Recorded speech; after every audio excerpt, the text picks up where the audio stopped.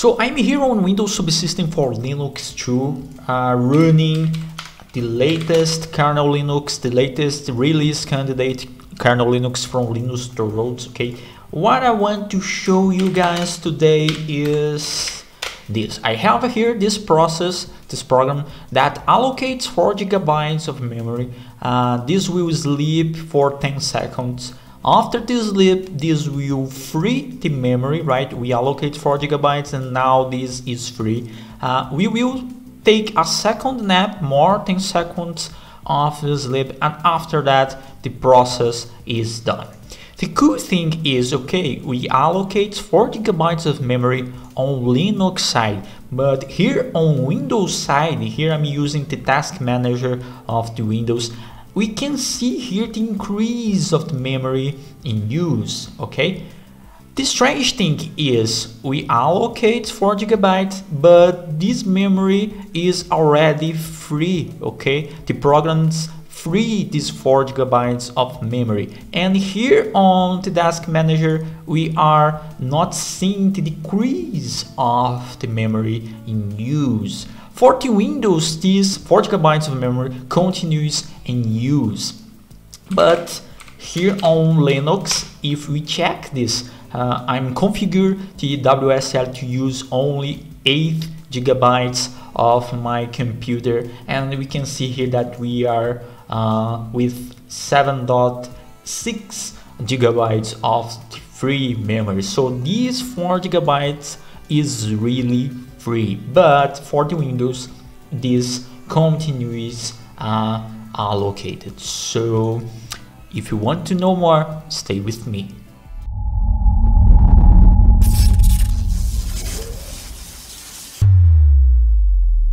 Hey guys, Matheus Castello here and if you don't know me, I'm embedded software engineer and kernel Linux developer and on my spare time I like to share the things that I'm studying and work on here on this YouTube channel. So if you like this kind of content about kernel Linux, embedded Linux, uh, Windows subsystem for Linux and more, please subscribe to the channel to receive more content.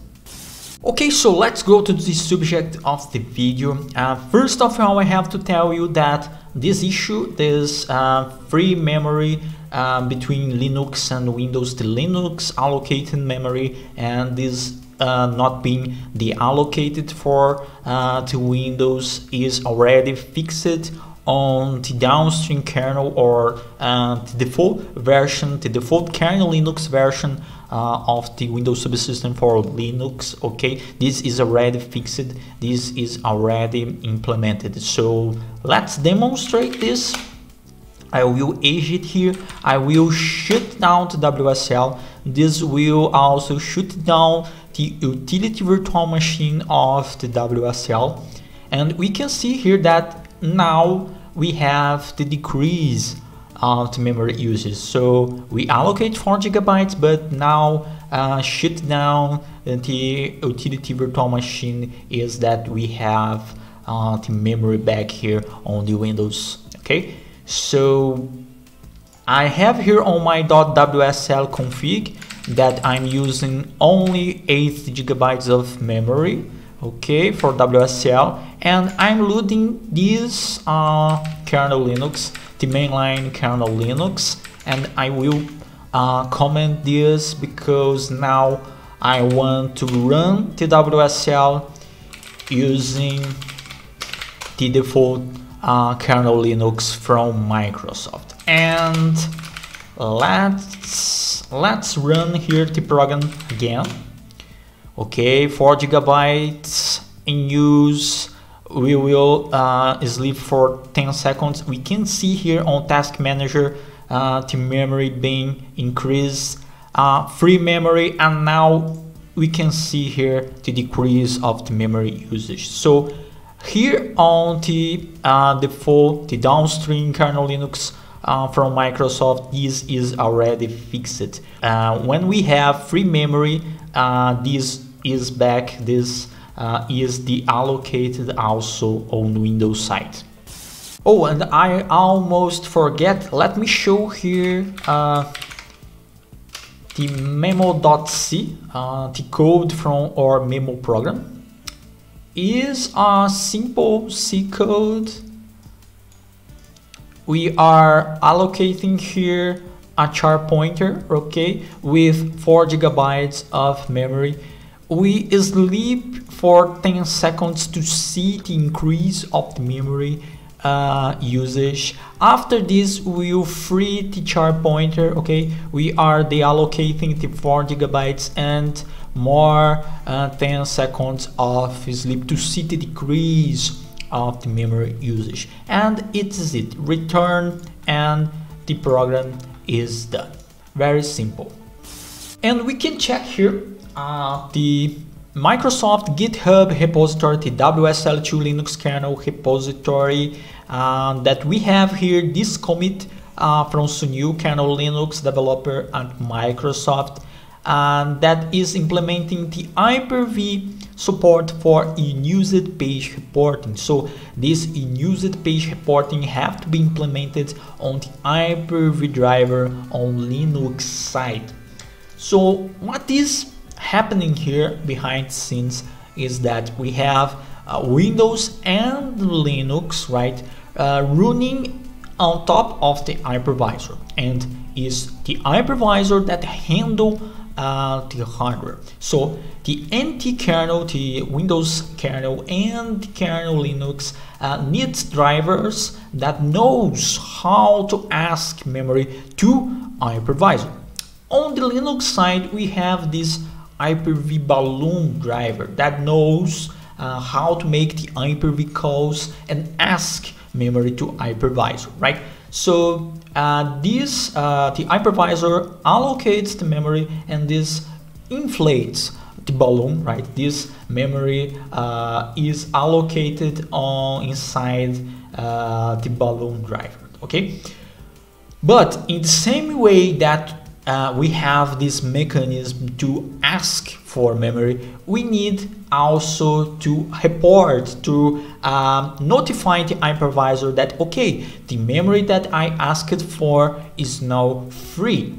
So we need to implement this inside the balloon driver and is exactly this that we have here on this commit. We have the Hyper-V defines the Hyper-V uh, defines and the functions uh, inside the Hyper-V uh, balloon uh, driver. Okay, so with this, with this report, with this uh, notify the hypervisor knows that okay now the memory is free and this will be deallocated and will be back available uh, to other guests uh, virtual machines and also for the Windows itself.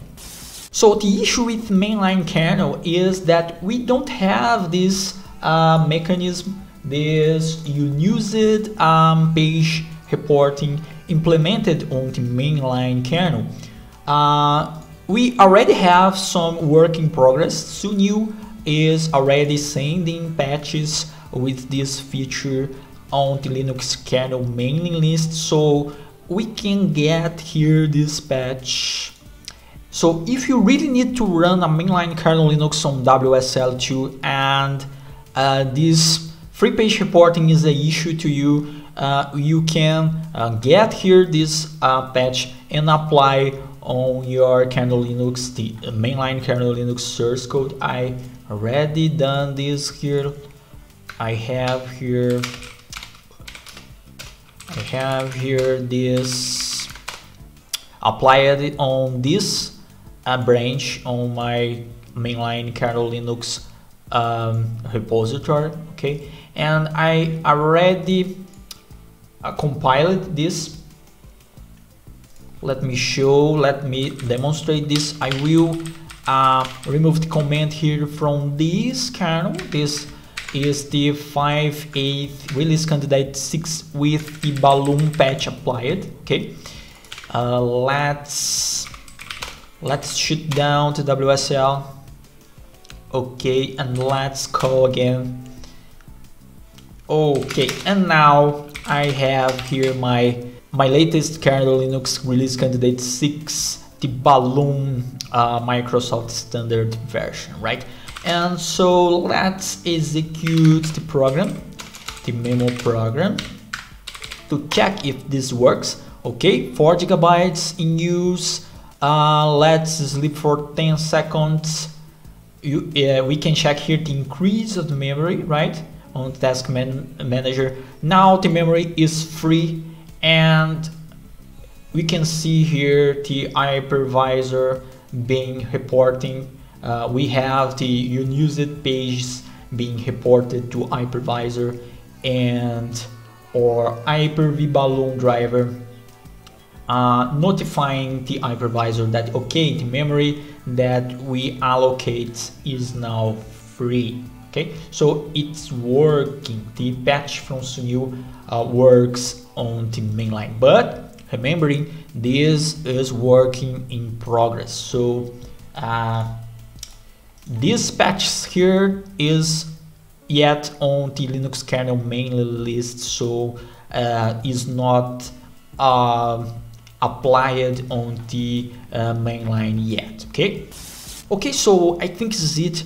If you want to uh, study more and go deeper on the Hyper-V balloon driver, uh, I will leave here uh, the links on the video description, the Linux kernel main list patch from Sunil, the commit uh, on the GitHub from Microsoft, the WSL2 Linux kernel source code, uh, and my uh, GitHub repository with the patch applied so you can use as base for your mainline kernel Linux build. Okay, I will leave all these links here on the video description.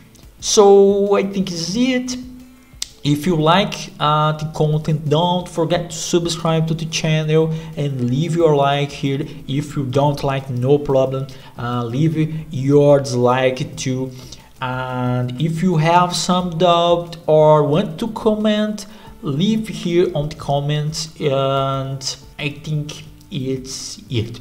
So thank you and see you on the next video.